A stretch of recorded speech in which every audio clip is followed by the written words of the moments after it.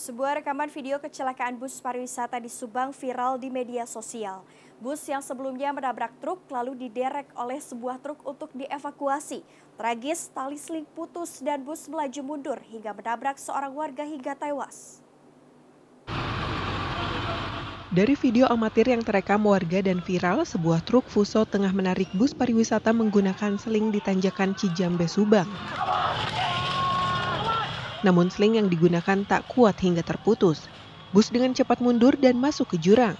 Bus juga sempat menabrak seorang warga setempat hingga tewas. Tarik itu halangan itu lalu lintas gitulah. Jadi pinggirin gitu. Sekali, nah kedua kalinya ditarik lagi ke atas mau dikasih sikan gitu mau dipinggirin awalnya mah itu putus itu nah selingnya gitu seling apa tambang pak? seling kecil ya pak?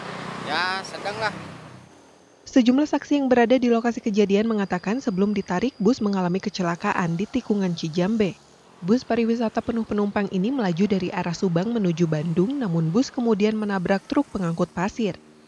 Dian Firmansyah, Subang.